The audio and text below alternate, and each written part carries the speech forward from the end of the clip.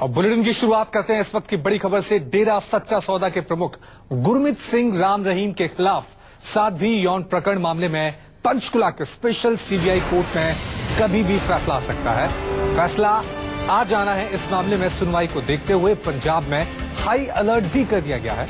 आज ही पंजाब के डीजीपी सुरेश अरोड़ा, केंद्रीय गृह सचिव से मुलाकात करने के लिए दिल्ली के लिए रवाना हो गए हैं। पंजाब ने केंद्र से 250 पैरामिलिट्री फोर्सेस की कंपनियाँ भी मांगी है। थोड़ी देर बाद ये फैसला आ सकता है। डेरा सच्चा सौदा के प्रमुख हैं राम रहीम और सीबीआई कोर्ट।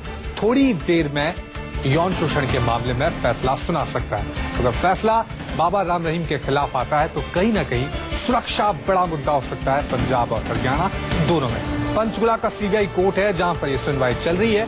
थोड़ी देर बाद ही सीबीआई अपना फैसला सुनाएगी। पंजाब के गृह मंत्री ने इससे सिलसिले में वहाँ पे पैरामिलिट्री फोर्सेस की मांग भी कर दी है।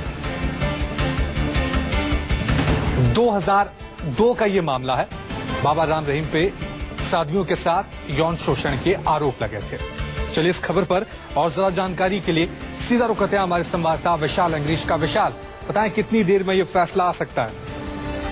फ़िलहाल ये फैसला दोपहर के बाद आने की संभावना है और इसी के लिए पंजाब में हाई अलर्ट कर दिया गया है क्योंकि इससे पहले भी दो बार फैसला रिज़र्व रखा जा चुका है और कहीं ना कहीं अदालत जिस तरह से तेज़ी से मामले की सुनवाई भी कर रही है तो फैसला आ सकता है। इसी के लिए जो पंजाब के डीजीपी हैं सुरेश अरोड़ा, वो दिल्ली रवाना हो गए और चार बजे उनकी मुलाकात है। केंद्रीय गृह सचिव के साथ उनकी बैठक है और ढाई सौ के करीब जो कंपनियाँ हैं कंपनियों का प्रपोजल पंजाब सरकार द्वारा तैयार कर लिया गया है और दोपहर तक वो भी भेजा जा रहा है और सात हज़ार के करीब जो डिप्लॉयमेंट है बठिंडा और पटियाला में कर दी गई है और इसी बीच जो तीन कमांडो कंपनीज़ है उस पर भी कहीं ना कहीं सरकार फैसला ले सकती है पंजाब पुलिस फैसला ले सकती है और पूरी तरह अलर्ट के ऊपर रखा गया है पंजाब में।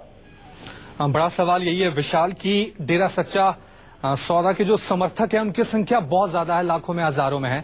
और अगर फैसला बाबा राम रहीम के खिलाफ आता है तो सुरक्षा एक बड़ा मुद्दा पंजाब में बन सकती है, क्योंकि इससे पहले भी इस तरह की हालात देखने को मिले थे कि अगर विवाद होता है डेरा सच्चा सौदा के समर्थकों के साथ तो हालात काफ़ी तनावपूर्ण वहाँ पे हो जाते हैं। हाँ बिल्कुल ही क्योंकि आ, काफ़ी आ, बड़ी संख्या में पंजाब और हरियाणा में डेरा समर्थकों की है और लाखों की तादाद में है और, और इस समय जब सिरसा में आ, जो डेरा प्रमुख है गुरमीत राम रहीम उनका जन्मदिन भी मनाया जा रहा है तो काफ़ी बड़ा मसला लॉ एंड ऑर्डर का पैदा होगा और सुरक्षा का भी पैदा हो सकता है। बहुत बहुत शुक्रिया विशाल इस तमाम जानकारी के लिए।